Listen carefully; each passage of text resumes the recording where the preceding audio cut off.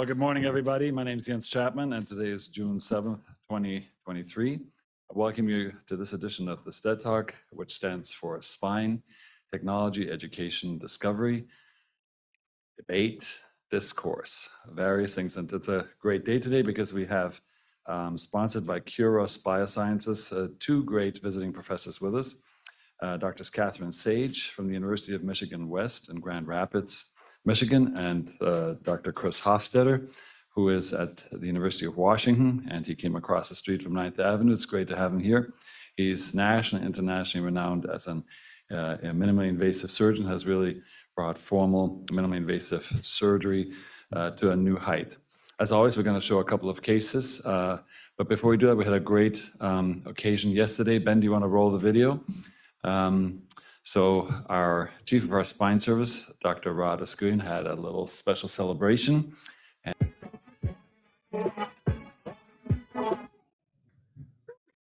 Happy birthday, Rod. Come on up here. Come on up here. We love you, man. You had the vision for all of this. You've created this. Can't wait for the next 50 years. Thanks, Jens. Appreciate it. Happy I'm, birthday. I'm, I'm so lucky to work here and um, have great colleagues and partners. And, um, you know, we truly have a special thing. So really, I appreciate all the birthday wishes and um, look forward to another great conference. Great. Thank you all. So a special day with two visiting professors here from the University of uh, Michigan West, Dr. Katherine Sage. She's a foot and ankle surgeon, but she knows a lot about bone healing, has done some cool new things. And Dr. Chris Hofstetter, dear friend and um, well-known minimally invasive surgeon. And he came over from the University of Washington today across the 12th Avenue divide. So thank you for daring that. Again, we have two cases, um, maybe three, I'm not sure, but two cases. Let's start with one. And uh, that is Dr. Jared Cook. He's going to graduate and he's going to head out. Tell us where you're going to head. But he's from New Mexico and he's just finished his fellowship here. And he has a first case, full declarations, a case of minds, a complication. All right, hi everybody. Yeah, I'm uh, heading to Virginia Beach after this.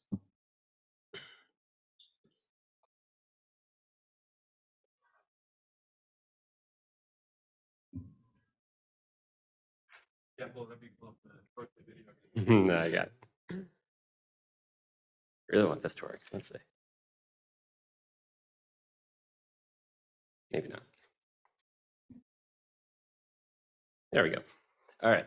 Um, so our uh, first case uh, is a 54-year-old male. Um, uh, came in with low back pain uh, radiating to the bilateral lower extremities for about three months. Um, the uh, his MRI was uh, performed, um, you know, by his by his primary doc, um, and then, you know, immediately upon getting the results back, referred to complex spine. Um, so at this point, no bowel bladder issues, no saddle anesthesia, no weakness. His medical history uh, consists of uh, controlled, well-controlled type 2 diabetes, uh, does have a, a, a history of uh, liver cirrhosis, thrombocytopenia, um, and uh, BMI over 40. Um, so he comes in, uh, neuro intact, his platelets are down at 67, and uh, his uh, INR is 1.4. Um, so uh, I put the images in the you know usual sequence. Basically, presents with with MRI. We get um, we see some X-rays. This one was actually done uh, a month prior um, to him getting that MRI um, at an outside facility, and this was read as normal. Um, and uh, you know we can see that lucency that's kind of highlighted over here. Oh, there's the one that works in the camera. Um, so here's the uh, here's the MRI. Um, so it's you know in the vertebral body, getting to the uh, posterior elements, compressing um, uh, the thecal sac and uh, invading into the into the soft tissue, and so that's uh, it's L1 uh, right there. Um, on the CT, you know we see uh, you know that it's uh, quite destructive, um, and so at this point, um, uh, we also see that there's um, there's some autofusion, potentially ankylosing spondylitis going on above. Uh, SIN score was calculated at uh, 13, so um, you know intermediate and you know warranting uh, consultation from us. And at this point, what we're looking at um, with his uh, unknown um, you know tumor is just his lytic lesion at L1, um, and uh, where do we go from here? So aside from the fact it's a SINS score, not a SIN score, but that's an interesting version. Can you go back a little bit to the MRI scan? So assuming we use a SIN score, Chris, so this is the eternal discussion about how do we handle uh, neoplasia in the spine. He does not have a manifest neurology, uh, which is a small miracle. He has a best estimate our radiologist said 80 plus percent canal compromise. He's barely functional, but he has no objective urinary retention. I forgot what his PVR is, so I would assume they're in the 200 to 250 range. Uh, this is a normal citizen. He was a teacher. He's had bad liver cirrhosis. He's a pretty large guy. We're all taught to biopsy and wait and see. And so tell us a little bit about your approach in terms of how should we stage these patients and should we wait for biopsy to come back, which in our world nowadays takes five days or longer when there's uh, phenotyping and immunologic um, uh, uh, genetic testing. Um, tell us a little bit about your thoughts. So uh, a couple things here. Um, You know, thanks for Jens for that question. I think there's a couple of, uh, you know, issues here right now, and I like to go, uh, I know I'm old school, but I like to know, uh, they use the NOMS criteria here. Uh, And, you know, if you look at this lesion here right now, it becomes very, very clear very quickly. Uh, The lesion is lytic, it's at the, um, you know, the junction. Uh, He's not kyphosed over yet, but, you know, given the looks on the X-ray, I think it's a question of time until he will fall over. So mechanically, I would say that's not, you know, I think that's not stable there, given that it's a junction. And the second thing is the tumor. Uh, the tumor is circumferential, Bilski 3. There's no CSF that I can see uh, around uh, the conus there. And so I think that would not be amenable for radiation only, given that there's no margins. So I think your hands are tied, uh, both from a mechanical perspective as well as from a tumor control perspective. You need surgery in this case. So NOMS criteria are interesting because they are multidimensional. Has a SINS score been helpful? Is that something that you teach your uh, residents and fellows? So I think for uh, for surgeons to make decisions, I think the NOMS criteria are more, uh, you know, they're, they're slightly more straightforward. SINS criteria are really good for referring providers uh, to put it on their wall in their office, uh, and so then they can sort of look through and sort of see when they have to refer. Um, so I think for us, uh, you know, the NOMS criteria I think work pretty well, and I don't think SINS adds that much, but um, you know, I think it's definitely a great, fantastic grading score, just not so much tailored towards the surgeons. Okay. Uh, Rod, so I'm going to share a microphone with you. I'm good. I got this. Oh, okay, okay. Yeah. Uh, so in terms of um, decision-making, the SIN score, again, Dr. Hofstetter has felt it's of limited value. We just had our, I think it was the 13th annual Yeah. spine tumor symposium with uh, international participants. Uh, one criticism is always, uh, criticism always has been that the SIN score has too large of an indeterminate section. What is your take-home message? Should we just forget that and go to a multi um, faceted kind of a classification system to help us with decision making? Yeah, I personally like the SINs. Um, I know Chris talked about NOMS. Um, you know, I think the biomechanical aspect is a is a big one. Um, and uh, again, most of these, like this tumor, you know, um, uh, it's going to be fairly difficult to radiate something like this. Um, and I think you're going to have to stabilize it. So I think having some biomechanical, neurologic, systemic, you know, um, classification system, it's helpful. So I, we kind of tend to use that, but, uh, you know, there's, you can sort of choose what score you want. Um, Um, in terms of getting other specialties to accept our form of quantifying disease burden, have we made progress in terms of getting radiologists and radiation oncologists, as well as oncologists, to see the uh, spine as we see it, or is that still kind of a silo effort? I mean, you've done this for 13 years now, together with Hootie Mandel. You've tried to really get into the minds of other specialties, which would be so important. Have we made progress? I mean, I think we've made a lot of progress, and um, you know, I think between uh, stereotactic radiosurgery and the minimally invasive options, you know, people like this actually do quite well. Um, but uh, you know, it's still um, these are difficult cases to manage. So let's go to the case at hand. So um, there's no immediate neurologic uh, pressure. Um, the, key, point here is the patient is in severe pain. He can't mobilize. He's a very large man. Uh, he's thrombocytopenic, assumably largely from his liver disease. Um, he had a past history of significant alcohol abuse. He's a professional. He's very large.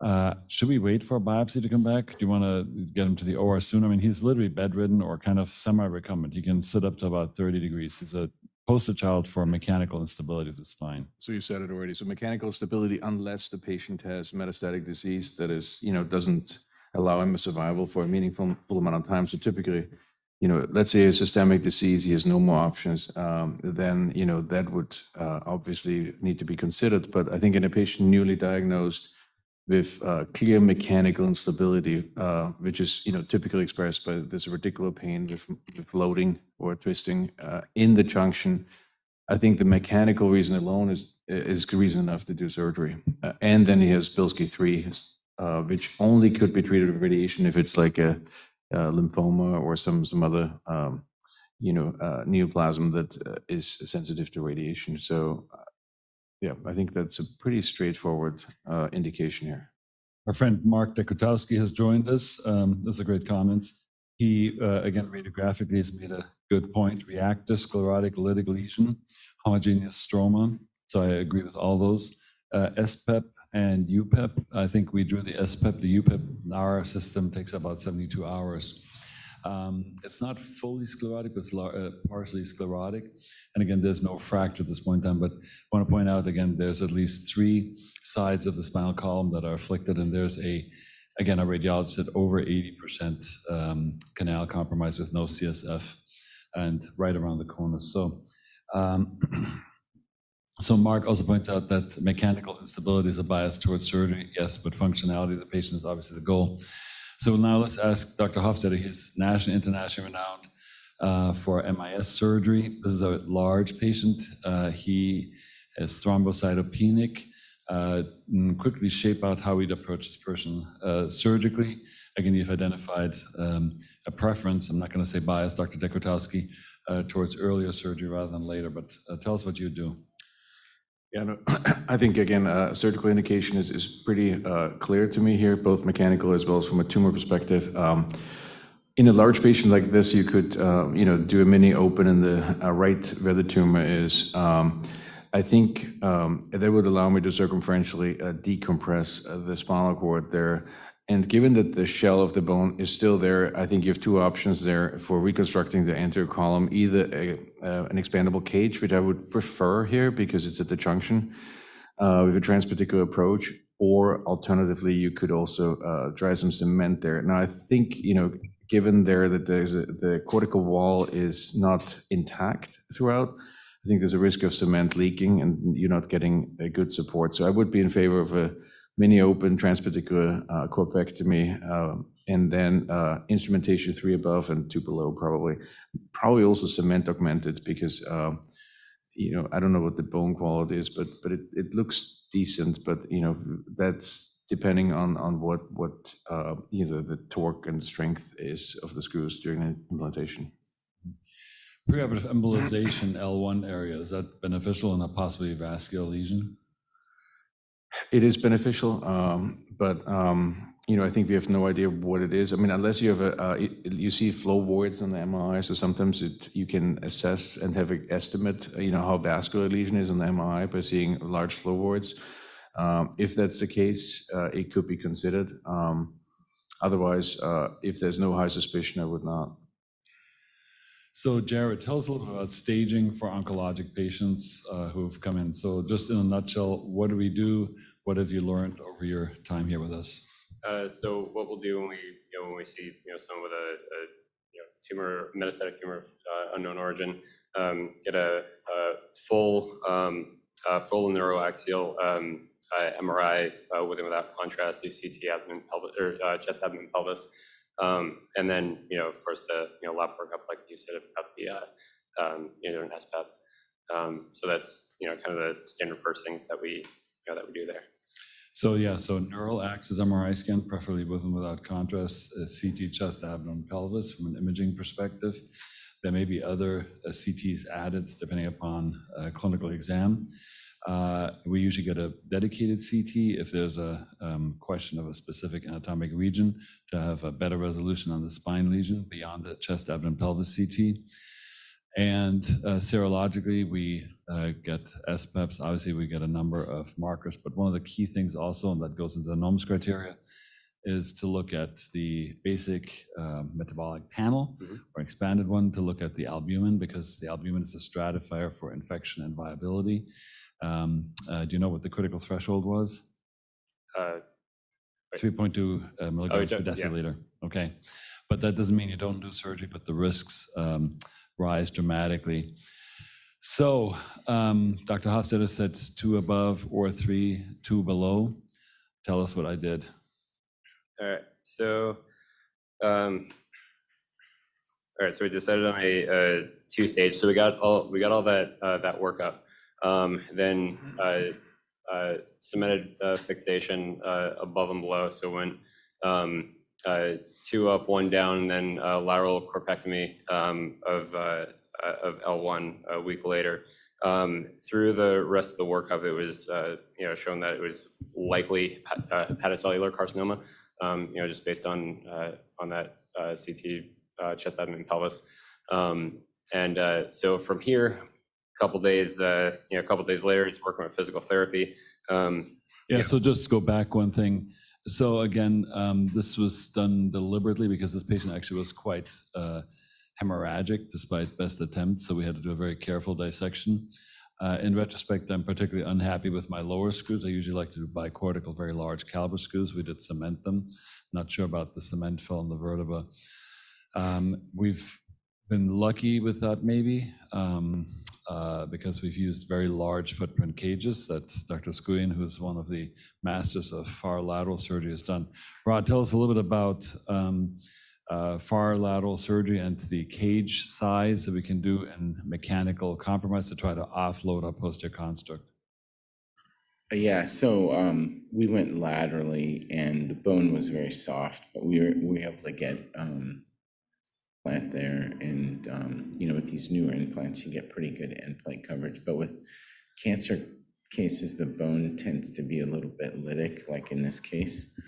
So we could see the end plate, um, especially the uh, end plate below was not the um, uh, most, you know, was, we could see that there was tumor there, so. So let's, so we'll revisit the mechanical things we see, the failure mechanism emerging. Before we go into that, our visiting professor, Dr. Sage. So, okay, tell us about bone healing in oncologic patients. I know you're foot and ankle surgeon, you do some orthopedic trauma. In the oncologic world, especially in the spine, we will face radiation um, in pretty substantial doses, uh, either through uh, single beam or external beam radiation. Usually, uh, we do have CyberKnife capabilities here also, which are pretty cool, but still, there'll be a lot of um, grays put into that area. So bone healing in onco- oncologic patients, uh, what principles to apply? Autograft is out. Yeah, What should we consider? yeah, it's a tricky one. You're right. Um, because as you said, autograft is not your best choice here. You don't want to seed any, um, any oncologic cells into a new site. Um, something like a growth factor that could possibly potentiate a new cell line, that could be an oncologic cell line, also, um, you know, not a great choice. I think, you know, a lot of people are looking for fill here um, and just kind of going for that osteoconductive scaffold. But ideally, there would, you know, also be uh, some, some part of osteoinductivity in a bone graft that you put in in this, in this area because you do want to, you know, you have a patient who's um, going to be a, a tricky patient to heal. So you, you want to make sure that you have that osteoinductive capability. Um, and so, yeah, you're looking for an osteoconductive bone graft, you're looking for an osteoinductive bone graft, you're looking for a bone graft that's not going to perpetuate an oncologic cell line. Um, and it's, it's a, it's a, it's a question that I think a lot of us struggle with. So uh, you're going to talk about a, um, is it a product or is it a, device philosophy? Is it, uh, how, how do you categorize this uh, new bone graft alternative you're going to talk about? Yeah, so it is a product, it's a bone graft. Um, it is a bone graft that's predicated on surface topography. So we've seen in the literature through the past several years how a surface topography and hardware can modulate bone growth. Um, lots of studies in terms of like roughened titanium and, and different, you know, different ceramics as well that can sort of induce this osteoinductive pathway. And so um, Biosciences has a bone graft with advanced surface topography, which um, can modulate an osteoinductive pathway um, through polarization of M2 macrophages, which are very involved in a bony induction pathway. So I'm, I'm always kind of a picky guy with words. So there's a lot of words flown around.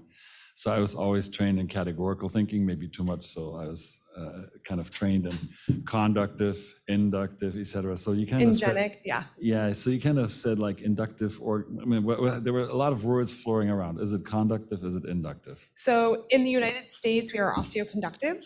Um, we have a really nice study in a, a canine model where we put our bone graft into a soft tissue pouch. So in, in a soft tissue blunt dissection into a paraspinalis muscle in beagles, and at 12 weeks pulled out um, a, a, a piece of bone, which under um, microscopy looked like matrilimellar bone. So that study is not accepted in the US to get an osteoinductive claim, but in other parts of the world, it has been accepted. So it depends upon the air that we breathe. It And the. North American air is not inductive, Yes. it's conductive. Yep. In Got the. US, it's conductive. Okay. Uh, Chris, why is bone morphogenic protein, I'm not using a product name here, not a good idea at this point in time to be used in oncologic cases? So um, there's a long history to uh, bone morphogenetic protein in uh, neoplasms, uh, you know, in, in metastatic uh, disease of the spine. Uh, Interestingly, uh, if you put BMP, sorry, bone morphogenetic prote- protein onto cell lines, 50% of the tumor cell lines are going to grow and 50% are going to arrest. And so there's been eternal debate on that. And as a general rule, most uh, neurosurgeons, spine surgeons, ortho- orthopedic surgeons uh, treating metastatic disease avoid bone morphogenetic protein with um, cancer history. Uh, And the reason for that is the unproven association of, of uh, recurrence of disease. Uh, So it's a, it's a little bit of a medical legal area. And so I never use BMP uh, in a case of metastatic disease, given that 50% of cancer cell could potentially see that as a mitotic uh, stimulus and, and sort of, uh, you know, like um, proliferate and and reoccur. So I think it's, it's out in, in, in metastatic disease.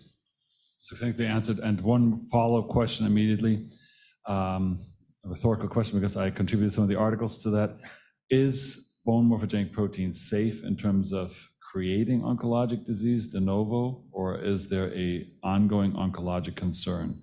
A colleague who at the time was editor-in-chief of the Spine Journal um, uh, wrote an article that based on a re-review of the original 320 patients from the initial trial, that there was an increased incidence of oncologic disease. Uh, Now, looking back at this 10 years, 15 years later, is that a factor or not? So I think, in- in- so the, the data, at least the way I read it, uh, and I've reviewed, we also wrote a, a large meta-analysis a couple years on this. Uh, So um, uh, in healthy patients without cancer history, there's no clear connection between uh, BMP and, and de novo uh, neoplasms. Uh, Again, in cancer, it's a different story, even though, uh, to my knowledge, has never been proven either. I don't think there's any convincing evidence that it would have that effect. But again, it's, un you know, if you have, a- just as an example, you have a patient, you do a resection, the patient undergoes all the treatment, has a recurrent of disease at the site you use BMP, you're going to be on thin ice. So, um, uh, we, just editorially speaking, we did perform a Washington State uh, population study with over 10,000 patients, and we found no oncologic connection. I have no conflict of interest regarding the uh, company that produces this, but uh, we did receive a modest, and I did not get any research fund to support the research itself. We did a five-year follow-up study, and we found exactly the same oncologic lines. We did this with uh, members of the Department of um, uh, Oncology at the University of Washington, uh, division, I should say, oncology at the UW, and large epidemiologic uh, participation from UW also. So And so those were healthy patients without the neoplasm? we did a population study in Washington where the device was used, and we divided oncologic and non-oncologic patients. We saw exactly the same survival rates, exactly the same de novo diagnosis rates. Uh, So, I mean, this is a population study, and uh, the curves are literally identical. So would you use it in a, in a metastatic disease? So again, these are not, this is basically the, the question here was, does uh, bone morphogenic protein create oncologic disease or not? That was the premise that was raised at the time. We cannot answer whether it's safe to be used, and I do not use it. Rod, what are your thoughts, and what do you use when you do a far lateral surgery like you did here? What, what do you fill this cavity with? Or- is it irrelevant? Do you just rely on the mechanics for the remainder of the hopefully long survival time of the patient? I think Fusion wrote a very nice review on that. There really isn't a lot of data with BMP um, and oncology. I think you did a very nice systematic review, but I just use allograft and, um, you know, we're able to get it. I think Fusion actually is very interesting, doesn't go through the cage, but it goes lateral to it. So we have, we have lots of cases like this where, you know, within a year, um, you start to see bone formation laterally. So um, we've always used allograft. So Dr. Sage, you're an expert in bone healing, and you have to do some pretty difficult bone healing um, solutions in the foot and ankle area. What is your advice? What should we use? You're speaking here on behalf of a company, I know that, but uh, we have a healing not be compromised biased here. patient. No, but just speak from their heart. No, I mean, li- and like I said earlier, I- I would, I myself would look for a bone graft that's osteoconductive and osteoinductive and doesn't have the potential that has growth factors in it that could perpetuate a cell line that I don't want perpetuated. Okay, so I'm getting a vague advice here. Dr. Hofstetter? Yeah. um, This afternoon, what are you going to do at UW for a similar case? So I think, uh, you know, the really, uh, really exciting news uh, for all of us here right now for cases like this is, you know, the tremendous strides that oncology has made for patients with metastatic disease. And so, um, you know, that has actually been one of the most rewarding things in our careers. Uh, Now you see patients that have tumors, uh, have local control, have systemic control, uh, and then have, you know, live for years to come. And so, uh, like Rod said before, I mean, I think, uh, you know, your observation was right on, right? I mean, what, what we need here now is to create that bony bridge, right? Uh, and that in an, an environment that is hostile, right? A patient with chemotherapy, a patient with local radiation. And so how do you create something that really fuses there? And so I think, I think this is going to be really important for all these patients that will become chronic long-term survivors with their disease. So I think this is a really, really amazing case for, for discussing that, because I think it's becoming more and more of an issue. Why don't we go forwards, Jared? So um, we're presenting this as a complication, and that's, I take responsibility for that. All right, so he's uh, working with physical therapy a couple days later.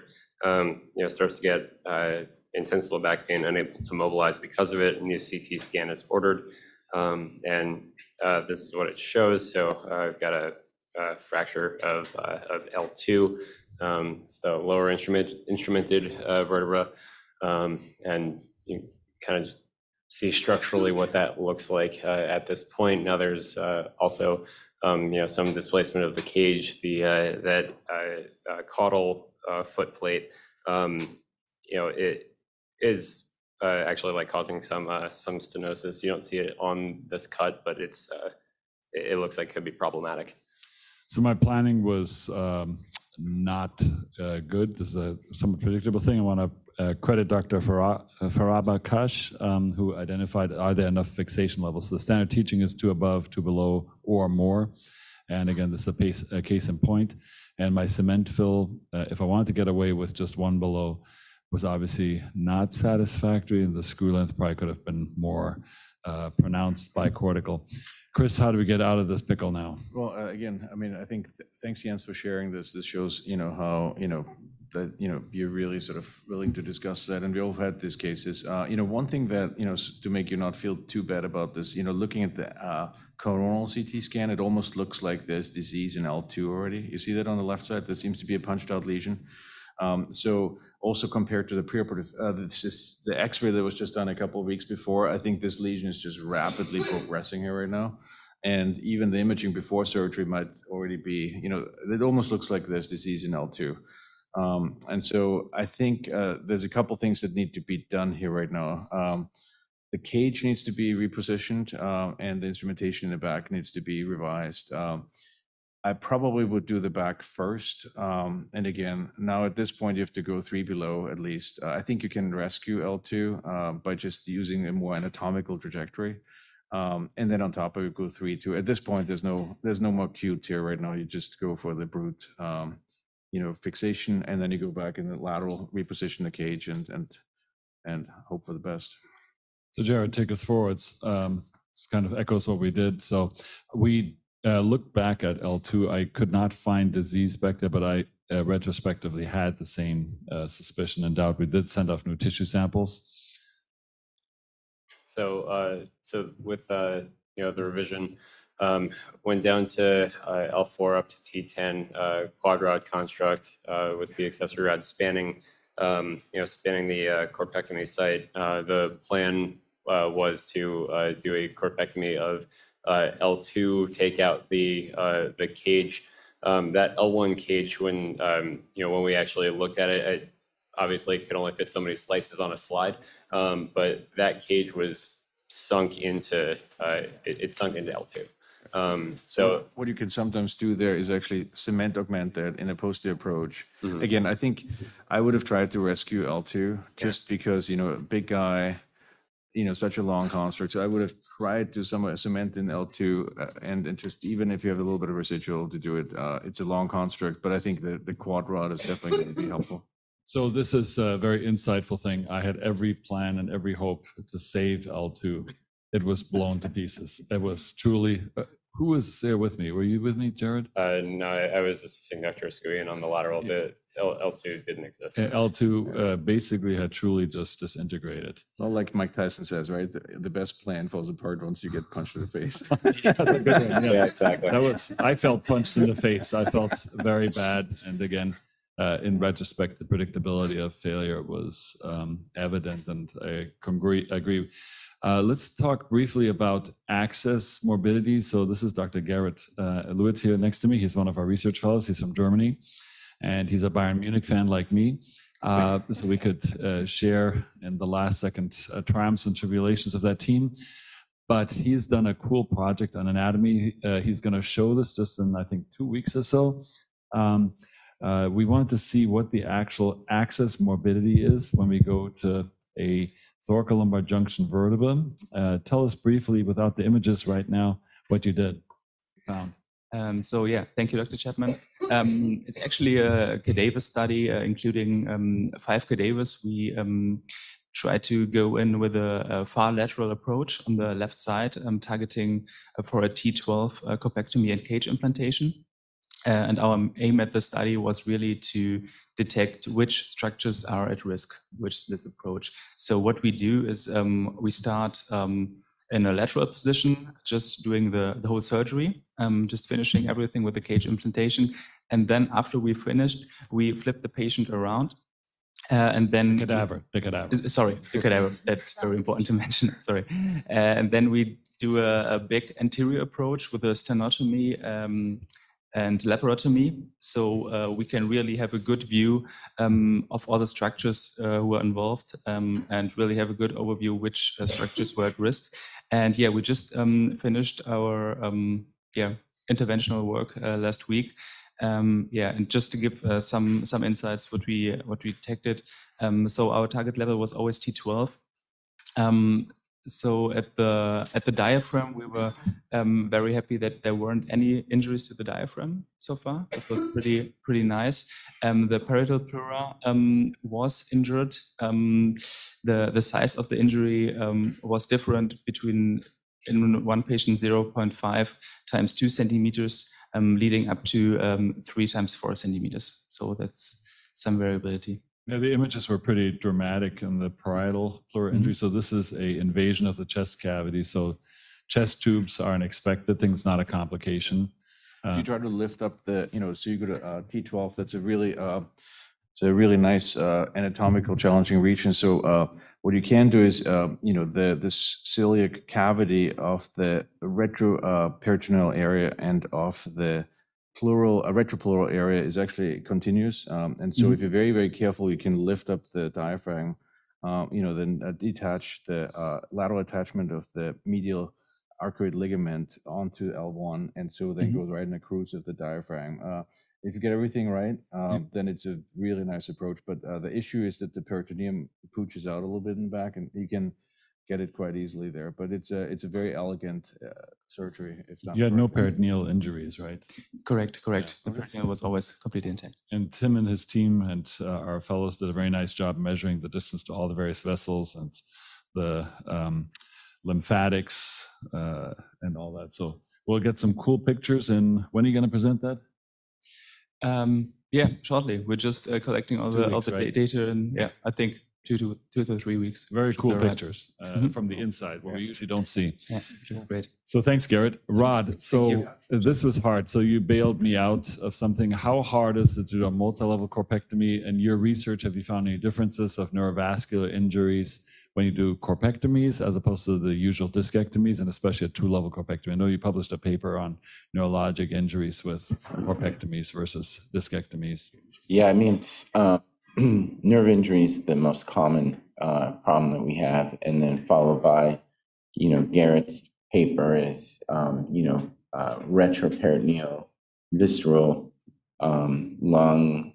You know, um, the junction is kind of one of these areas where, uh, you know, there's lots of structures there, so you just, you know, you have to be cognizant of the area that you're in, and retroperitoneal approaches to this area are kind of nice because um, you know you don't have to do a huge shark bite incision and and so I think um, uh, both Jared and Abe were there. You know, even though it was a revision, we were able to go back in, take the cage out, put a new cage in. It's a little difficult getting a little bit inferior, but in the end, you can see the nice size implant that we were able to place.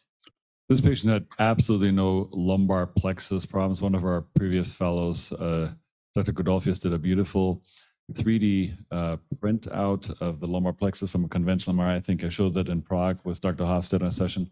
It's done from a conventional MRI scan, and it's absolutely scary to see that lumbar plexus. Uh, Rod, any retractor things or tips and tricks to try to minimize lumbar plexus damage? I mean, you- were co-author on that paper of uh, Perry.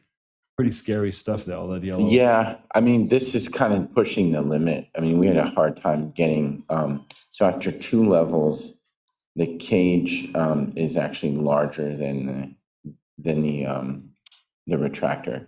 So it's hard to do. I've done actually three level, but you end up having to, um, do some manipulating of the cage, uh, and the retractor because the cage ends up being too big. But now all these companies have great expandables, so it's getting better and better every year. Let's talk about radiation. So Dr. John Chen asked uh, SBRT postoperatively, uh, Chris, how long should we wait before we start that? And there are multiple companies who now have radiolucent uh, products out there. Um, is that meritorious? I mean, we have a lot of titanium in here. Why is that a problem? So how long uh, until we radiate and why do we wait? And number two, uh, is there too much metal here? Is there too much scatter? Should we use carbon fiber or whatever? So, um, uh, in terms of uh, waiting for radiation, uh, the reason for waiting for radiation is so that the wounds heal. Okay, uh, typically it's three weeks. Uh, by that time, you can start to radiate, um, and uh, the typically to uh, IMRT um, with that type of radiation. Um, there is scatter around, uh, you know, uh, titanium grafts, uh, where um, titanium grafts really make a big difference is proton beam, which would not be used in this case, uh, most likely. And so for traditional IMRT, image-guided uh, radiation, uh, titanium is slightly of a disadvantage because there's some inhomogeneities of the radiation field. How much that is, is still under debate, uh, and we're actually having some studies going on for that. Um, for primary tumors and tumors that need uh, proton radiation, uh, those really benefit from carbon fiber um, instrumentation.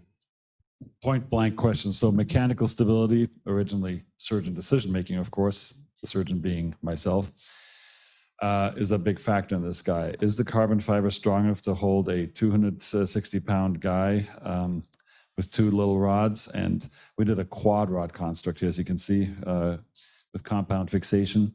So tell us about the mechanical fixation strength of rods and the extreme mechanical challenges and over time, moreover.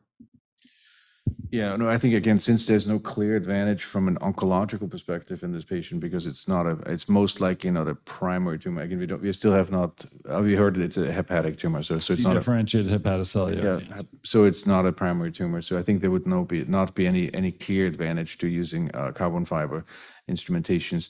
Also, you don't have that, uh, you know, you have cross connectors, you have quad rod, side connectors. All that technology is uh, a little bit more in its infancy for that. Also, you can't bend the, that, uh, the carbon fiber rods. Um, There is pretty good carbon fiber expandable cages now for corpectomies. Um, So I think it's a technology that is going to come uh, slowly. uh, but I think uh, we're not there yet.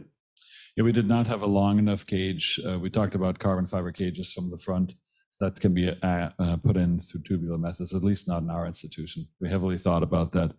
Um, great. Learning points for yourself, Jared. You're involved in the salvage. Thank you for salvaging my patient.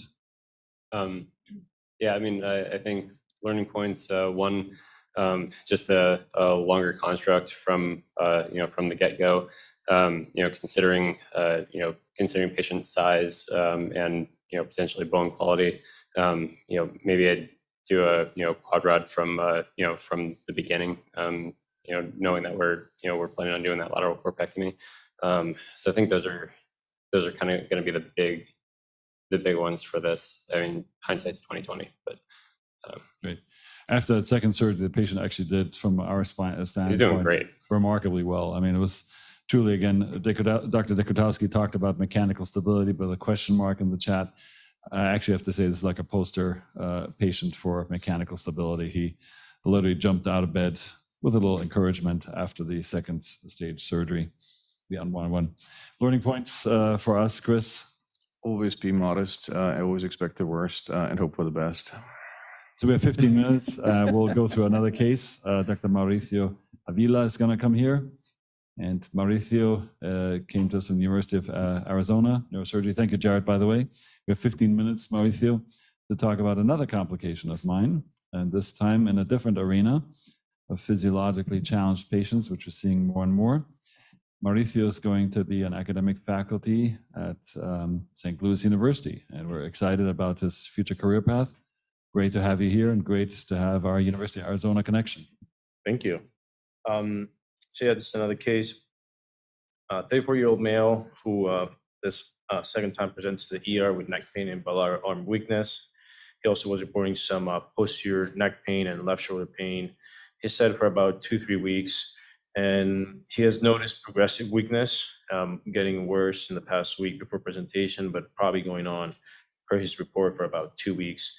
He wasn't able to use his hands. He was unsteady on his feet, um, but he denied any bowel bladder issues. Has a, relevant medical history. He unfortunately uh, abuses drug. He does IV meth. He's a tobacco user. Has HIV, syphilis, hepatitis C, and history of cardiac vegetations. And as Dr. uh, Chapman was already pointing out, his relevant past surgical history, he had an ACDF six months prior to his last presentations due to uh, uh, spinal osteomyelitis. Uh, back then, the uh, the bacteria was uh, MRSA.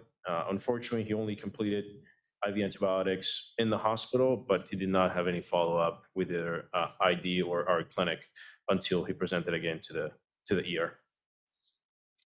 Uh, this is exam. Uh, you'll see the image uh, in a minute. Despite the image, he only had about four, four plus uh, weakness in his upper extremities.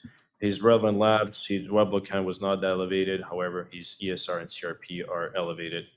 So I think everybody knows what, where this is going. This is just for reference. This was the kind of original um, images for his surgery six months prior to the last presentation. So the left-hand side, you see MRI with contrast and the epidural and um, abscess there and the post-op for uh, the one-level ACDF done there. Um, Just relevant, uh, the, you can see the allograft.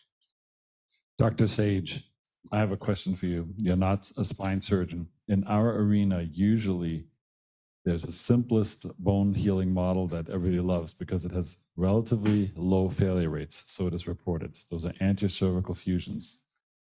Why do we still accept anterior cervical fusions as a model when the actual number of patients that we need to demonstrate a delta, meaning a difference, would have to be in the probably thousands, at least in the several hundreds? So Why do we use a best possible area rather than a most challenging area to demonstrate bone healing? Yeah, I think that's an interesting question, and that's something that's come up um, in the sort of industry world. Oh, sorry, can you hear me now? Is this thing on? Um, testing. Yeah. So uh, now I lost my train of thought. Yeah, no, I think I think it's a really interesting point because this is something that's coming up um, in terms of being on the industry side of things, looking at regulatory and trying to like tell regulatory bodies that if you have your worst case scenario, then that should waterfall down to some of the best case scenarios and not the other way around. So this is a conversation that we're like currently having in terms of looking at like, you know, lumbar um, posterior lateral fusions, for example, being kind of like one of a more challenging case. And if you confuse in that model, then maybe that means something for fusing in some other models. Um, but I think you're right. We should we should look at the the hardest worst case scenarios as sort of our, our our testing block and then move it from there, and not start with the easiest. So there's a protein called P50, I don't want to mention the uh, manufacturer. Is that an osteoconductive or an inductive product? It's it's labeled as osteoconductive. Mhm.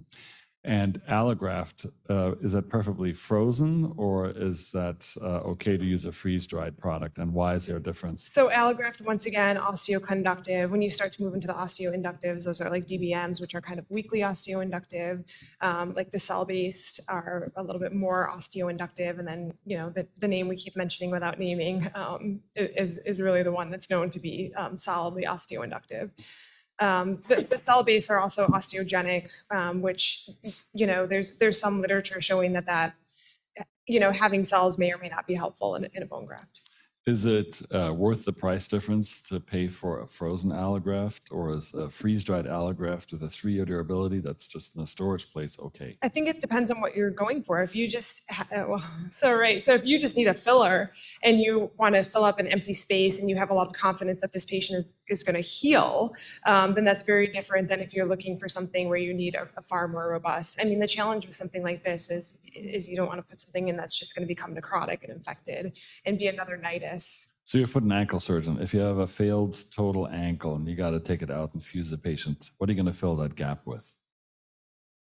Um, an, an allo, a f- a- yeah, frozen allograft. frozen allograft yeah. a freeze-dried allograft? Yeah, I'm going to take a femoral head and, and cut it down to the size that I need. Frozen.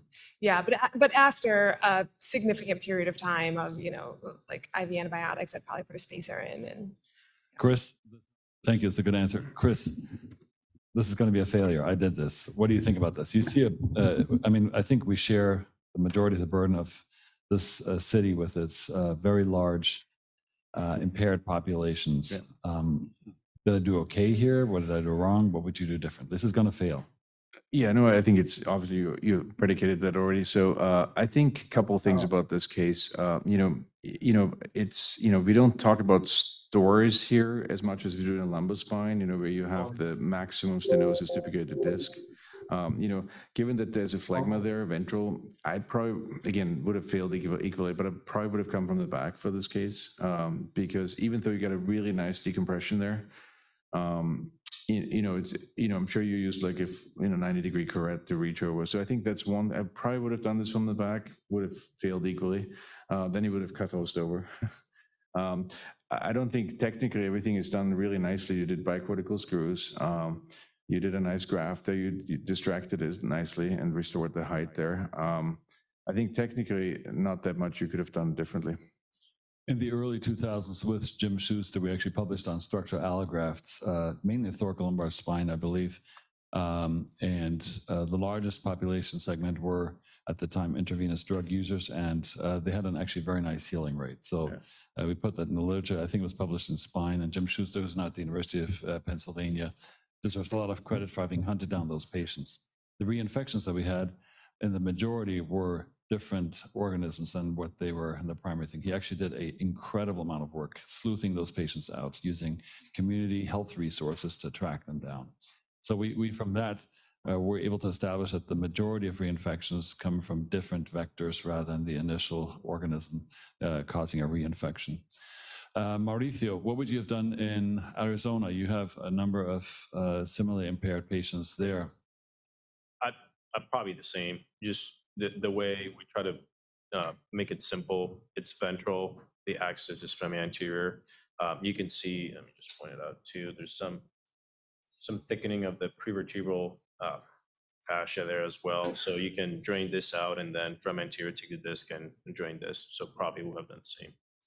And allograft as a substitute Um, We've for the dreaded both, plastics? And uh, we also used uh, titanium implants. Uh, Mhm. The thing with this patients, as, as you know, like case in point, if they don't follow up, it's hard to know what happens. Uh, They may be in a different hospital now, a different city. So, uh, but yeah, we use both. And the ones that follow, if they finish the antibiotics and, you know, kind of turn their life around, they, they tend to heal. I think that inflammatory process helps. Now, everybody wants to know what failed, so show us what happened next. So yeah, so this is um, now he's a new presentation. So um, I just put the contrast one on the left and the T2 there. How you- far out are we? So it's fi- six months. Again, he only completed, uh, I think, uh, roughly two weeks, which is the amount of he was in the hospital uh, for his IV antibiotics. Uh, So you can see now the infection is spreading on the uh, both visual bodies above and below. Uh, Also, again, a ventral epidural uh, abscess. And you can see the stenosis, and know if it projects, but some, some changes in the, in the cord signal on the T2 I'll show you the CAT scan. So this is how that allograft looks now, six months after. Almost um, the screws at C6 appear like they're floating now into the the void. Uh, Same with the C4, uh, C5, sorry, and the C4 vertebral body is starting to be eaten out by the infection. So that's the new presentation. So now, I guess, comes the discussion. So what do we do? Antibiotics, collar, don't do anything. Anterior vision, what type of graft, allograft, autograft, titanium, PEEK, posterior only, or a combined anterior and posterior. Chris, you want to go posteriorly first. So first of all, surgery is clear, right? Cervical epidural abscess. We wrote two papers at Harvard that I think helped shape the literature that's now become pretty established. As a board examiner uh, for neurosurgery, you'd say cervical epidural abscess, some retropharyngeal abscess, surgery. So correct? anytime you have an um, epidural abscess or phlegma in the epidural space, uh, uh, surgery is indicated or should be considered. Anytime with an epidural abscess plus neurological deficit, it needs to be performed. So that's kind of the, you know, there's a very simple rules that we have here. Uh, You have, uh, eh, you know, symptomatic stenosis, high, high level, high grade stenosis, uh, and you're failing instrumentation in front. So I think you have to take care of both. Uh, So I probably would do a, a, you know, a, you know, posterior instrumentation and decompression. Uh, again, decompression, very, very, uh, you want to be very careful in the back because it's the only bone you have left. So you definitely have to decompress, but you want to make sure you keep as much of the bone as you can. Um, the front, you have to, um, at least take the instrumentation out because it's floating. It's also floating into the canal a little bit. The screws, they're, they're kind of getting back there. So uh, there's not going to be any material to work with though in the front. So, um, so So that's almost like a, posterior f- a Mhm. four level. I mean, like you need, we need to do, I mean, there's like how many levels are involved? This seems to be like, Three levels plus. yeah, three. levels. Okay, Marithi, we have three minutes. Take Okay. us forward. So um, we did uh, uh, back front. So first uh, we went from the back, uh, cervical laminectomies and a C2 to T2 fusion. And then from the front, uh, revised it. And I don't know if it projects, you can see there's a fibular strut here. I think the biggest discussion was what type of graft should we use? Should we use PEEK? Should we use titanium? Should we use an expandable cage? Or Should we just uh, fibular allograft? Um, And those are the intra images. So um, we're waiting for the follow-up. That's the, that's the three dots of, of this case. We're waiting for the follow-up.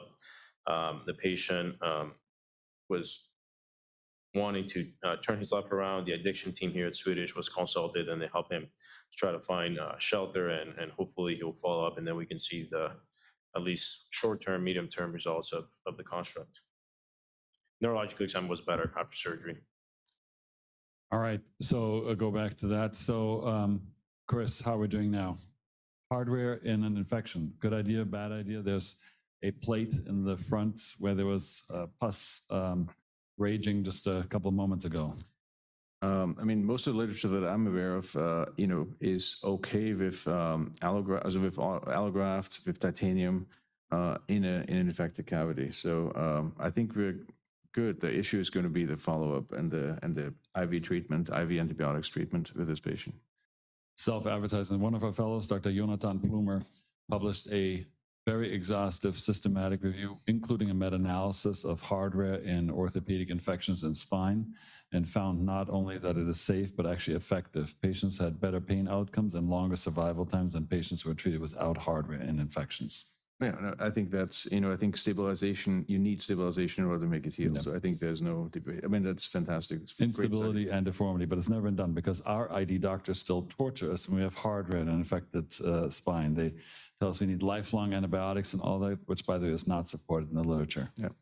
So we, we have a, uh, uh, a hopefully very well quoted paper that will support our use of hardware to avoid instability, deformity, and progressive neurologic deficits. Learning points for yourself, Mauricio. Go post here, like Dr. Hofstetter had uh, said. I, I, I think looking back, and that's why I wanted to show the six months prior, I, I would have gone from the front, just because the, the abscess is right there, and it's just like, it's, it's from the front, I can go from the front. I think there's, there's, there's so much that we can do as surgeons and as physicians, if the patient doesn't want to follow up, and we do our best, I mean, and the patients keep using drugs and not following the recommendations. So uh, by going from the front, this is where I disagree with Dr. Hofstetter. I followed Sutton's Law. You know Sutton's Law, right? Yeah. Willie Sutton, the bank robber. Did they teach you that? Uh, Maybe you haven't mentioned it.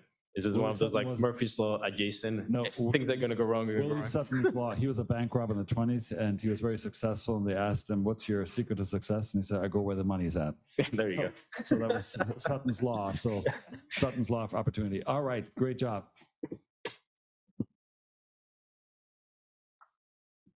Thank you to our fellows and thank you for doing this. We had only two cases today, but we had some more time to discuss healing patients. And please tune in to our special session. Angela, what's the date for that? The, the date for our fellows presentations? July 21st, we have an all-star accumulation of our fellows uh, presenting their research work with really cool cutting-edge stuff. So please tune in. Thank you all for watching. We have a great international community. It's my great pleasure to introduce Dr. Katherine Sage to you. It's an honor to have a foot and ankle surgeon here, all the way from Grand Rapids, Michigan. Uh, Dr. Sage is a bachelor, uh, got a bachelor's degree in Boston University, medical degree at Lincoln Memorial uh, in uh, osteopathic medicine, and she did her orthopedic surgery residency at Metro Health University of Michigan in Wyoming, Michigan, and a fellowship in foot and ankle surgery at the MedStar Union Memorial Hospital Baltimore.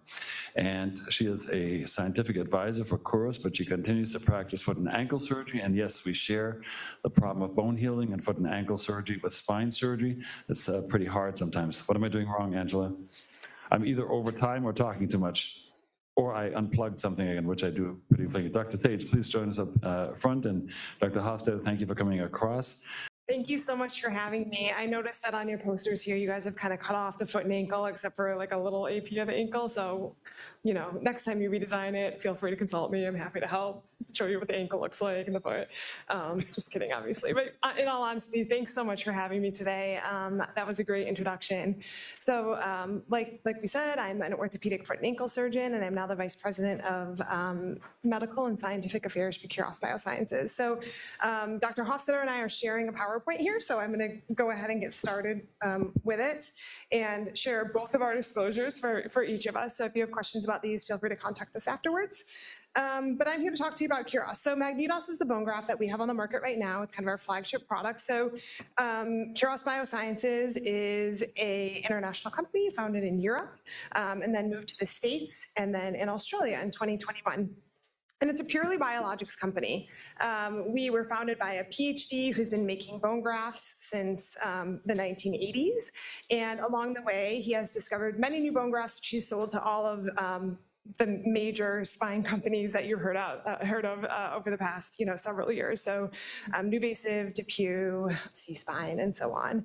And so since we have a PhD at the helm, we're a very scientifically and research and evidence-based company. So there's about 70, 70 of us internationally, and I think out of the 70, 12 of us are either orthopedic surgeons or PhD. So we're very, very science committed, and I guess I can take the opportunity now to tell you that everything I'm going to show you today has been published published in a peer-reviewed journal. So we're not a company that has a bunch of data on file. So anything I show you, you can find, um, we can hand it to you. You can find it on our website, which is kurosbio.com, or um, yeah, you can you can Google me and I'll send it to you um, if you can find me after you find my high school track meet pictures. so um, that's about Kuros. Um, the way that we work is through macrophages. And so taking you back to medical school, macrophages are the first responders of the immune system. They come from a monocyte cell line and they can polarize according to the microenvironment. An M1 macrophage is a pro-inflammatory macrophage. It's really important. It starts to signal from mesenchymal stem cells to come to a site of tissue trauma or injury. But ultimately, they promote inflammatory fibroblasts and can push um, towards this scar tissue pathway. An M2 macrophage is a pro-healing macrophage and can upregulate um, cells such as stem cells. So a lot of this literature was done at Mayo um, over the past several years. It's, it's all published. What we did at Kuros was we made a vital discovery, which is that a surface topography on a bone graft can modulate an M2 polarization. And if you look at bone grafts up close, these are all real images from scanning electron microscope, you can see that surface topography of bone grafts has changed. And this shouldn't be new information. This is happening in hardware as well, right? We, there's tons of studies out about um, roughened titanium or, or other um, surface topography that can, uh, that can make a difference in bony ingrowth.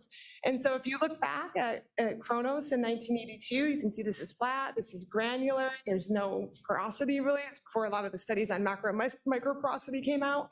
But as time goes by, you can see that the surface features change, and ultimately we end up with MagnetOs here on the right.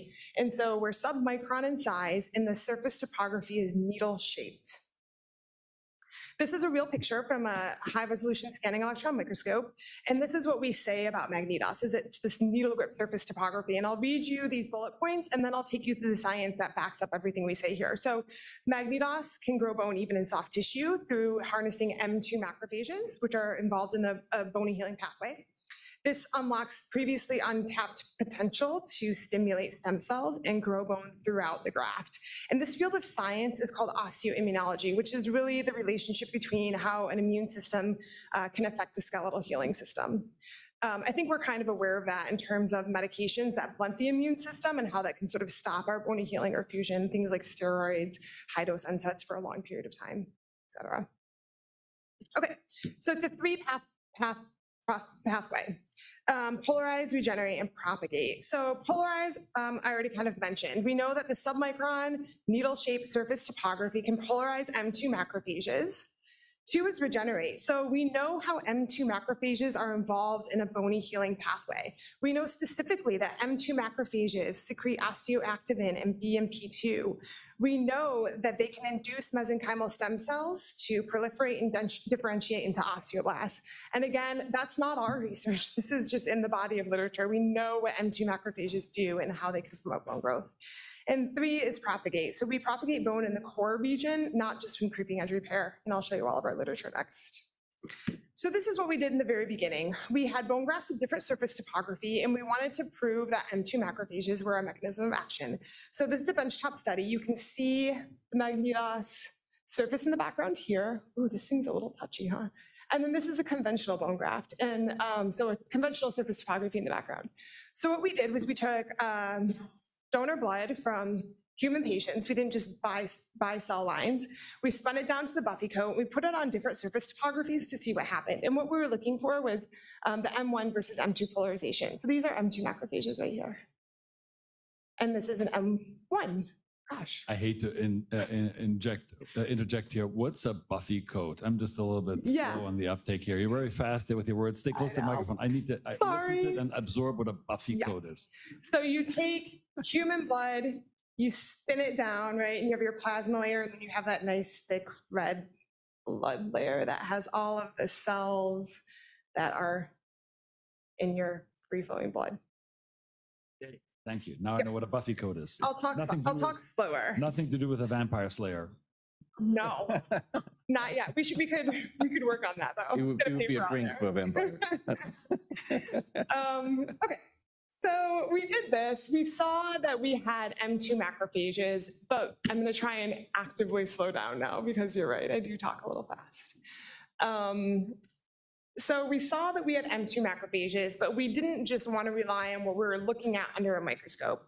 we know what proteins M1 macrophages and M2 macrophages produce at any given time, time point. So the next thing we did was ELISA testing. And we're looking specifically for M2 macrophage markers. So CCL18 and CD163. And once again, this was just kind of validating what we were seeing on our um, mic- microscopy. So we did sort of confirm that those were M2 macrophages we were looking at. The next thing we did was still benchtop. So we took the protein soup from that, those first slides where we saw that the M2 macrophages were secreting proteins. We took that protein soup and we put it back on our surface topography, which you can see here. And we looked for the next thing that happened. So we, we know that human mesenchymal cells can be stimulated by M2 macrophages to differentiate into pre-osteoblasts and start to spread out and fuse together. And that's what we're seeing here. All right, so these are what happens next. Once again, we didn't just look at what we were seeing on a microscope, we wanted to validate it with ELISA testing. So in this case, we looked at ALP, so alkaline phosphatase, marker of bone growth, bone turnover. And once again, we saw that our ALP was elevated on, on our needle grip MagnetOs surface um, versus the conventional bone graft. So those were our kind of benchtop studies. The next thing we did was take it to uh, a large animal model. So a, a, a lot of places will go to this like rat, mouse, rabbit study. We went straight to dogs, and I mentioned this study earlier. So this is a canine model, and we were looking at putting a bone graft in a soft tissue pouch, not on a fusion bed, um, not on decorticated bone, and we wanted to see what happened because we wanted to see if the M2 macrophages would differentiate. So soft tissue blunt dissection into a paraspinalis muscle in beagles, popped in bone grafts and waited for 12 weeks. And so we did this with a lot of different bone grafts. When we pulled out the MagnetOs at 12 weeks, this is what we found. So we put in a bone graft and then pulled out this at 12 weeks. And this was really a mic drop moment for the company because what, what we are seeing is anything that's fuchsia color is bone. Um, the black is the bone graft itself, nearly resorbed. Um, and when you look at this at a higher powered microscope, we can see what looks like really mature lamellar bone. So it's osteoblasts, it's osteoclasts, it's osteocytes sitting in the kunai. Um, we did this with a lot of different bone grafts just to try and replicate and see what happened in this canine model. Some of them did form some bone at some time point. Some of them, as you can imagine, um, you put in a bone graft and we pulled out bone at 12 weeks. Some of them had become somewhat fibrous. Um, some of them had resorbed. But once again, this is a paper that we can show you and you can look at the results of all these different bone grafts. But for us, this was really a, a life-changing moment because we put in a bone graft and we pulled out bone. We then took it to a clinically relevant, validated sheet model looking at instrumented posterior lateral fusions. And what we did first was compare it to autograft, so gold standard autograft. Um, so these are sheep, so that's why the transverse processes are horizontal here. And what we did was um, put autograft on the top and then MagnetOs on the bottom. The black dots itself in between the TPs here is the MagnetOs itself. We know that the pink is bone. So what we showed is that if you look closely inside that blue circle, you can see that there's little pink fuchsia dots growing on the bone graft in the very center of the fusion bridge. So we know that we're not just relying on this like creeping edge repair, this osteoconductive scaffold. We actually see, um, you know, pink bone growing in the very center here. So we know that our mechanism of action is working, right? Wherever the bone graft is, we have the surface topography, M2 macrophages are polarizing, bone is starting to grow. Um, ultimately, um, the authors of this paper concluded that, com- that uh, MagnetOs uh, made a complete bridging bone equivalent to autograft. Um, one concern with bone grafts that we all worry about is with our human patients, we can't we can't get histology slides like that. So what we're relying on is our radiographic imaging, and we've all had cases where we put in bone graft, things look you know good or great on our X-rays or our CTs, but but you don't know if you're looking at bone, you don't know if you're looking at bone graft, you don't look, you know if you're looking at fibrous tissue. And so we wanted to kind of like do an animal model to, to think about that. So in this one, once again, um, it's a it's a sheet model, instrumented PLF, and we compared MagnetOs to NovaBone and Vitoss and autograft. And so these are what the CTs looked like at, at 12 weeks. And you can see, you know, there's definitely something happening. We see this kind of Swiss cheese effect of autograft where we know it starts to resorb. But ultimately, we sacrificed the sheep, and this is what we came up with. So the top two slides are really similar to what you've seen before at 12 weeks. We have this nice solid bony fusion all the way across for autograft and MagnetOs. Um, the NovaBone, I always like to point this out because these are actual glass particles, it's bioglass. Over here, like kind of a nice example of creeping edge repair. This is Vitoss itself up here, and this is fibrous tissue coming across. So once again, published, happy to show you this paper and talk through it with you. Moving on from animals, we have our human clinical trial. So I'm just going to sort of talk about this, and you can, um, you know, ignore that slide because it's got a lot of, uh, lot of words on it. But basically, what we did is a prospective randomized control trial with an intra-patient control. So this is instrumented posterior lateral fusions. And what we did was we put MagnetOs granules on one side and autograft on the other side. The autograft was at least 50% iliac crest bone. So the surgeons agreed to take bone from iliac crest. We volume controlled, so it was 10 cc per side per level. And we tried to blind as much as we could. So the surgeons had to prep the corticate, get everything ready before they were told what bone graft was going to go on what side. Uh, our follow-up was one year fine cut CT scans read by two blinded independent spine surgeons. Dr. Hoster was teasing me yesterday that they were blind, but just blinded. Um, and they had to look at coronal, sagittal, and axial views. Um, so really nice study. All 100 patients have had their surgery, and this is a report on the first 50 that have had their CTs. And I'll note here that once this study is completed, this is a prospective randomized intrapatient controlled trial. This will be level one data. This will be published in a, in a high-level peer-reviewed journal. And this is where we ended up. So if you look on the right, by subject, we had a 78% fusion rate for the MagnetOs granules. If you look at the literature, this is very high for a granule used standalone. This is not mixed with autograft. It's not mixed with BMA. It's not mixed with anything else. If you look at other bone grafts in this category, their fusion rates are near about this percentage when it's mixed with, with other things. Um, there is a, a carbon copy study of this that's published, which I can share with you, where their fusion rate is 55% um, versus our 78%. So we will be finished collecting CTs this fall, and we'll be writing up this data and publishing it. But overall, we are very, very pleased with this number. This is really high for a standalone granule. Um, we did lots of statistics. There's some concern about an intrapatient control in terms of if, if one side is solid and stable and fused, is that holding it steady for the other side to fuse? So lots of stats that we ran. This is all available to you, but we found um, that binomial modeling expected that the odds of fusion in the MagnetOs granules group was 2.54 times higher than the autograft group. Just a couple case reports here from this study. Um, I think I only have two here, but but really what's more interesting are Dr. Hofstetter's cases and how he's actually using it and what he thinks of it. So um, if you want to see cases, I have I think six of them from that that white paper that's published, and then ultimately I think that that actual level one data will be published like Q1 24. So we'll have it for you then. Good job. Maybe we'll call you back up again. Thank you. Let's have Dr. Hofstetter come up Yeah. and tell us about his clinical experience. He's again a, a truly world famous innovator in uh, MIS surgery, minimally invasive surgery, and obviously the lack of access sometimes makes bone healing particularly challenging. So let's see what your insights are in terms of optimizing bone healing. Well, first of all, thanks so much for inviting me, Jens and Rod. Uh, He's probably eating his birthday cake right now. Um, And um, Share. Yeah, so we've been using MagnetOs uh, for the last six months. Um, The reason for doing so was to find an alternative to uh, allograft. Um, As we all know, uh, the last several years have been challenging for uh, sourcing uh, allograft with the pandemic. Um, It has been uh, a product that has had the challenges, and I think we really ran against the wall. Um, And uh, like the cases that we share, uh, Jens and, and, and we, we're taking care of the sickest patient in town and we need tools. Um, and um, so far it looks really, really promising. So a couple of examples here right now. So um, 86 year old male, uh, he had a type 2 dens fracture, is actually a dear colleague of mine.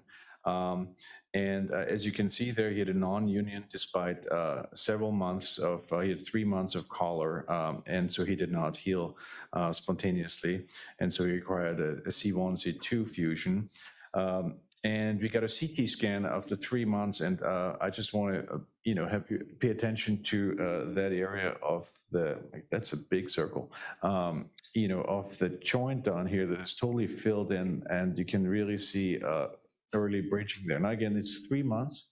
Um, But this is something that we see more and more. I just have a, uh, I saw a patient yesterday with a four-month, uh, four-month out uh, ACDF, uh, two-level.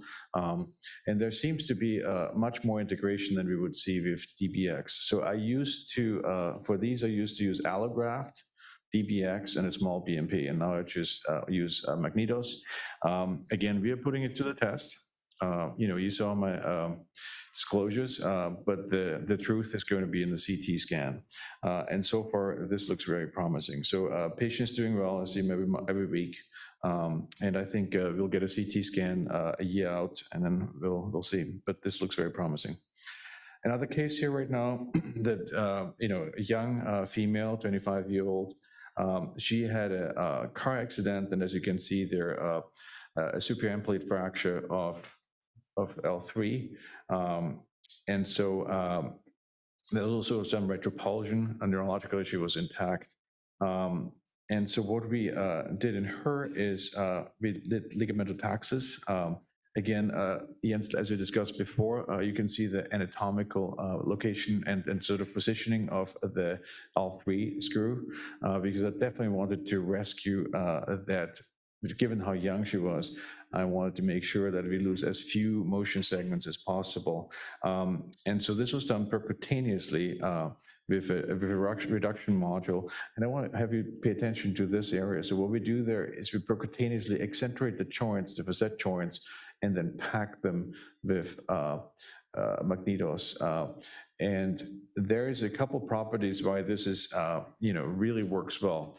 First of all, these funnels that you use to fill the facet joints are pretty narrow. And so having autograft and allograft, often the particles have different sizes and you get stuck. I mean, I know it's a very practical surgeon problem, but, but the nice thing about ma- MagnetOs is the particles are 250 micrometers and all standardized. Um, And actually, anything that doesn't have the right size, they throw away. It's, I saw it own eyes. So they only, it's, it's only a, a very certain, um, you know, size. What this does for a surgeon for you, that you can use a small funnel once you've accentuated the joints and it can fill the joints for posterior lateral onlay fusion.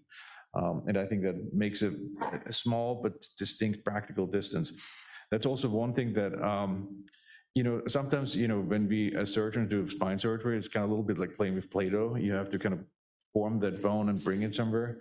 And so handling characteristics and, and, and putting stuff together that just doesn't, you know, immediately fall off makes a big difference. And that's also something that they got really very, very nice. Uh, it, it has this sort of wax-like consistency that you can mix that.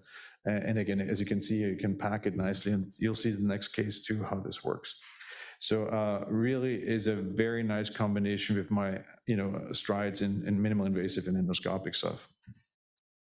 All right, so now obviously uh, one, you know, trick pony, so we have to have some uh, endoscopic cases here right now.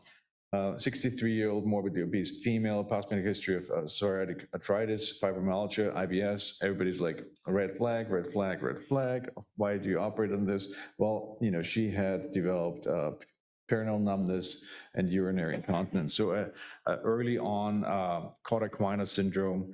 Um, on exam, she was still intact, but very concerning symptoms uh, regarding uh, early slash uh, mild chronic equina syndrome. So for this patient, your hands are tied. Uh, you have to think about decompressing. Uh, imaging confirmed that she had severe spinal stenosis at L4-5, and yes, this is indeed an, a T2 weighted image, so you can't see the thecal sac at all. Uh, so high-grade stenosis, morbid obese patient. Uh, Jens and I, I think, I think we're taking care of the, the most interesting cases in town. Where all the juicy pathologies going here? So anyhow, so difficult case. Um, This is where I think the, uh, our expertise in MIS surgery and endoscopic surgery comes in nicely. Ventral, we talked about that, right? Ventral pathology, so we come in ventral. So here, this little port goes in ventrally, uh, and the endoscope goes in for the decompression.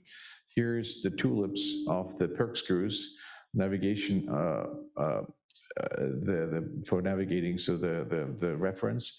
Um, And what we did there is uh, we placed an expandable cage, but then also as a posterior, posterolateral onlay fusion, we then accentuated the contra, I typically accentuate the contralateral joint and then pack it uh, with bone. Um, And so I think that MIS endoscopic onlay fusion is going to really be helpful with, with these patients. And I think I had a video on this, but I think it somehow disappeared uh, in the video. Um, It's, I think it's next after. Oh, really? Yeah. And uh, again, one thing, uh, Jens and I were just in Prague and we had like hundreds of talks each. uh, And a lot of the talks were also about um, MIS and TLIFs. Um, This is an endoscopic um, TLIF here right now. And, and really what we are uh, striving to is that reduction of lordosis, you know, those eight, 10 degrees of lordosis that you want to get. Um, And, uh, and you can see that we can now start to accomplish that. Uh, Also, we have um, a a national uh, prospective registry of all these patients that we use a- a- an app for that we designed at the University of Washington. This is uh, this patient's um, outcome scores. Uh, Each first line represents a day, uh, and you can see her leg pain. uh, She had a little flare up on the right side, it resolved. Her back pain is getting a little bit better. Um, And then um, you know, very minimal intake of opioids here for the, just for the first couple of days. So I think a really, really nice outcome. And again, uh, we'll have a CT scan for you available that I can hopefully show in a couple months for you guys. Um, another case here uh, right now, which is uh, the last case here right now. Um, he's a, a, a, was a professional biker um, and um, had this chronic um, right radicular pain. Uh, had an extensive, extensive workup, including PET scans, uh, blocks, um, and eventually uh, we agreed that this hemangioma that he had there in L5, right in front of this crossing L5 nerve root, uh, may contribute to this chronic, chronic pain that he had. So it was not like, uh, you know, really sort of. Excruciating 10 out of 10 pain, but chronic two to three pains. And then he had these episodes of sharp shooting, shooting pains um, every now and then. And so he had to stop cycling. Uh, he had to stop doing all these things. And so then we came forward and we're like, well, I think what is what happens if we free up that nerve root and resect that um, lesion right adjacent to the nerve root? And so that's what we did. Um, see if I can start this video. So we have an interlaminar approach. Um, and I'll orient you a little bit. So here is, um, here's the lateral aspect here right now. And so we perform basically a, a hemilaminotomy. You can see the facet joint there. Here's rostral, here's caudal. We're identifying the neural elements here.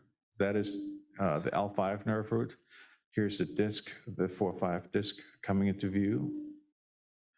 Uh, We're preparing, uh, again, epidural fat, and we're finding the posterior aspect of uh, the L5 vertebral body. So you get an X-ray where you can see with an osteotome, and so we start working around that lesion.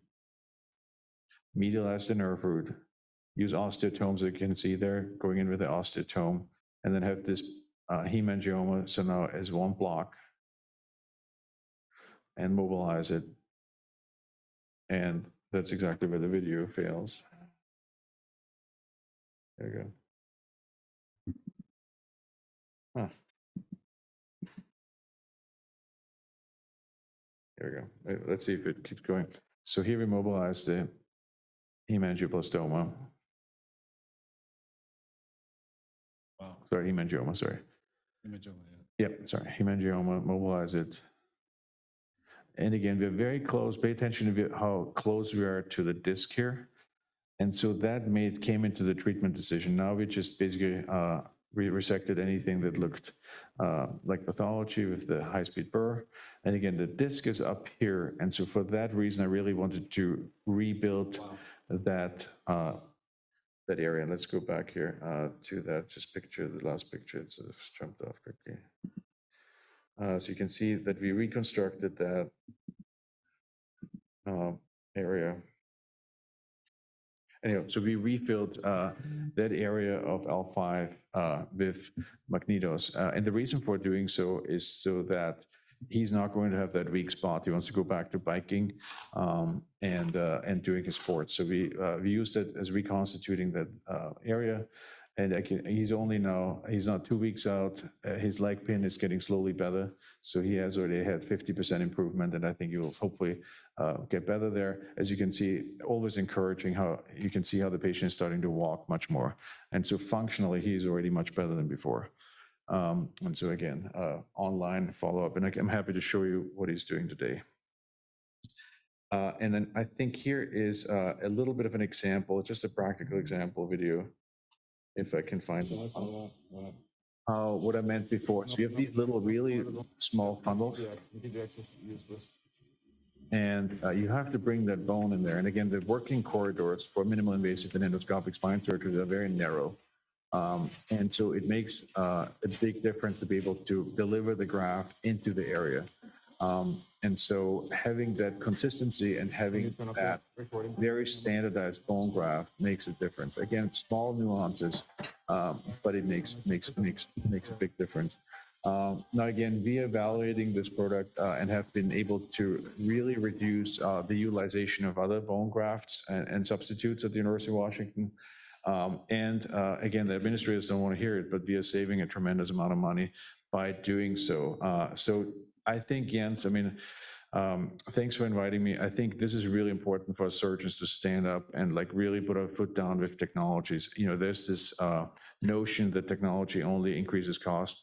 Uh, And I think that's just not the case. Uh, So we are going to evaluate this. In a year from now, we'll have solid data, and then we'll make a decision from there. So uh, gets us to the last slide, um, where it asks you to take credit, I guess. Um, So there's a QR code. um, And Kate, do you want to? Yeah. I just wanted to, Yeah. Do you want to come up front with him or do you want to? Oh, sure. Either or, yeah. okay, yep, I'll come. You can go to the next like, thank you slide. Oh, there's another thank you slide here. I here. think there's, a- yeah. Oh, that's, that's, Thank that- you. that- that's simple enough for me. I'll do this one, and you can do this one. Well, I actually wanted to touch on one last thing because um, I wanted to give everybody our indications because um, there's some funnel work there and I just wanted to make sure that we're on label here. So we have four, like I said, we're super scientific focused. So every time we get data, we take it back to the FDA and get our new clearances and indications. So we have four formulations and they all have different indications at this point. So the granules can be used standalone, posterior lateral spine, so cervical, thoracic, and lumbar, as well as pelvis and extremities. The putty can be used as an extender in the posterior lateral spine, so cervical, thoracic, and lumbar, and then standalone in the pelvis and extremities. The Easy Pack Putty, which is a softer version, comes in a, um, a syringe, is to be used as an extender in the posterior lateral spine, cervical, thoracic, and lumbar. And we have a collagen product called Flex Matrix, which is meant to be hydrated with BMA. And again, that's posterior lateral spine. But I just wanted to clarify, because I know he has some pictures of funnels and things up there, and I wanted to make sure everybody knows where it's going.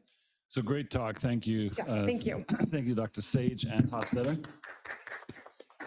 And over 250 viewers live uh, concur. Here's a question for you. So Dr. Faiz Ali Shah wanted to know if your MagnetOs studies are registered in clinicaltrials.gov. Yeah, if you go to clinicaltrials.gov, you will see um, several studies from us, um, from both MagnetOs and then another product that we have in um, FDA phase two right now. And what do they look at? So they're, all- right now, they're all posterior lateral fusions because that's So what what do we're, they search for? oh, um, Kuros or MagnetOs. K-U-R-O-S. Yep, K-U-R-O-S. So the Yes, catchwords will trigger. yes, K-U-R-O-S, yeah. There Um, should be, I think, like Speaking five. as a spine surgeon, so we're obviously exposed to a lot of companies that uh, promote uh, a variety of uh, bone products and bone substitutes. It's a hot market with significant um, gains potential. One thing that I've seen a lot and having participated in several previous studies is that when we have something that looks osteodense on imaging, even on CTs, and then when we have to somehow re intervene, uh, it's like a mineralized gristle, but it's not remodeled bone. Yes, And if you go back to one of your histology slides on the animal models, where you had the muscle pouch model, I believe it was a canine model. yeah. Um, my question there is, uh, if we, if I'm very strict, um, go forward. So um, no, keep going forward. We have to get. Uh, This going- is sheep, yeah. Perfect. Oh, that's a that was an ovine model. Good. Top right was the MagnetOs product. Yep. If I look at that and compare it to autograft, and if I was very critical, but some people accusing you to be too critical, um, is this remodeled bone? I mean, on the top left, you see what I'd uh, uh, consider remodeled bone. On the right, I see osteoid and small insular aggregates. Is that remodeled bone? So there's, so this is at 12 weeks and there is still some bone graft left, but we do continue to track in these ovine models over periods past 12 weeks um, to make sure that we do completely resorb and remodel into, into mature lamellar bone. So, you know, that's, that's why we did all of these sheep and animal studies is for that exact reason. We didn't want to be a bone graft that looks great on x-rays and CTs, but then when you go in to revise, you're pulling out, you know, chalk. Um, So that was one of the ways that we were trying, you know, really trying to, to make sure that we had, you know, a product that doesn't do that. As a bone healing specialist, would you agree Mm-hmm. that PEEK, so plastic, uh, ethyl ketone, ketone, is one of the worst biomaterial? Leading question. Um, I, I don't know if I can give a, a best and a worst, but there, there's, there's certainly materials that are far better at promoting osteoinductive than, than other materials. Let's say conductive, but like titanium versus PEEK, all things being equal, would you agree titanium is way better? Yeah, I would. I was at a meeting recently and I did not know, I must confess, of M1 versus M2 immune modulators. And there's a company that now claims that they have a negatively electrically charged uh, PEEK product. Does that make sense? They claim that they can get M2 induction through negative electronically charged PEEK molecules. That's interesting. I mean, I'd love to see their literature. I will say that we were the first company that really figured out this mechanism of action specifically in a bone graft for M2 macrophages. Um, like I said, there, there's been a lot um, published by this PhD researcher at Mayo named Charles Mills. Um, so he put a lot of the literature out there in terms of uh, macrophage polarization and specifically looking at how M2 macrophages are involved in this bony induction pathway. Can you go back uh, a couple slides? There was this beautiful mesenchymal cell picture where mesenchymal cells, yes, fantastic picture. Take us to the first 24 hours on a bioimplant as a human being. What is the first cell that actually catches on a, a bone graft? So this, so this is a benchtop model. This isn't in a in a person. Um, but so the first thing that happens is you have tissue trauma, whether it's from you know actual trauma or surgical trauma, and you have this influx of immune cells that come to the site of tissue, and they're they're all the um, immune cells that we learn about, like basophils, um, mono, monocytes, eosinophils. Um, all of these come, and they all have a role to play, whether it's you know phagocytizing bacteria or um, you know necrotic cells, or starting to signal to mesenchymal stem cells, not just for bony induction pathway, but for angiogenesis and others, right? So there's all these cells that come and they start determining their lineages and start um, telling mesenchymal stem cells where to go and, and, and how to, you know, start this regeneration process. Um, we specifically looked at the bone, bone regeneration process. We, we do have some literature, again, published, looking at that angiogenic pathway too, because there's, there's some um, proteins that are secreted by M2 macrophages that are involved in angiogenesis. So I can give you that paper if you'd like it as well. I'll watch a replay of your uh, answer because my brain is still scrambling. Um, but uh, is it true or not that the first cells that attach to a new biosurface are fibroblasts? I, I, I can't say a 100% for certain, but they are amongst one of the very first. Yes, absolutely. So the conversion of fibroblast, assuming that it's a majority, let's just assume for argument's sake it's 85% plus of the initial cell attachment of fibroblasts. When and how and where does the conversion of fibroblasts to mesenchymal stem cells that a neoproliferative and an osteogenic pathway, uh, when does that occur? So we want to start even before that pathway. So an M1 macrophage is going to promote that fibroblast proliferation. The M2 pathway is going to start pushing that preosteoblastic. So our mechanism of action will start even kind of before that the fibroblasts start to lay down. But you're right, if M1 macrophages are the dominant subtype for more than 72 hours, it's a really good indicator that there's going to be a, a, fibroblastic, you know, scar tissue kind of formation on, on that surface. So the main point that I'm gathering from you is the actual pathway towards bone healing starts with an inflammatory response. Mhm. And that is mediated by having a vascular environment, right? Yes.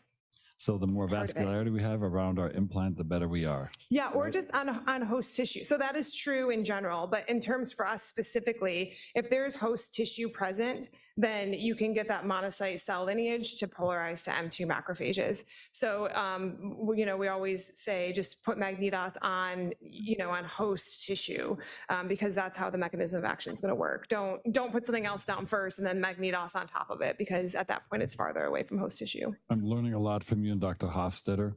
Uh, so I thank you for being here. Uh, any other comments from you and Chris? I think you, you summarized nicely. Just one, one little, um, you know, kind of interesting uh, tidbit there in terms of research. So uh, a couple of years ago with Buddy Ratner, who is a, uh, a really amazing scientist at UW, he used surface technology to induce M2 in spinal cord injuries. And same pathway, I think it's a pro-healing pathway, and that needs to happen for regeneration. Good. Well, learned a lot, great, great discussions. I, I have to go uh, to another meeting, so I apologize. I Could talk all day, but thanks for coming. Thank you.